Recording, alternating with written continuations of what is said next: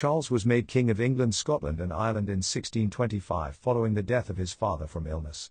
It became imperative for Charles to find an appropriate marriage so as to create a legitimate heir. He married the French princess Henrietta Maria that same year. This was controversial due to her being Catholic and the Protestant English Parliament were not happy. At this time, the Puritans were rising in power, and one of their core beliefs was that the Reformation had not gone far enough.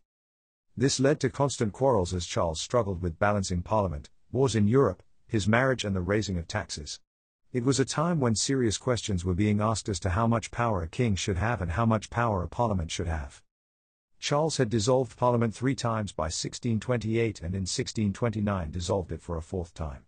This time he resolved to rule personally in what would be known as the Eleven Years' Tyranny.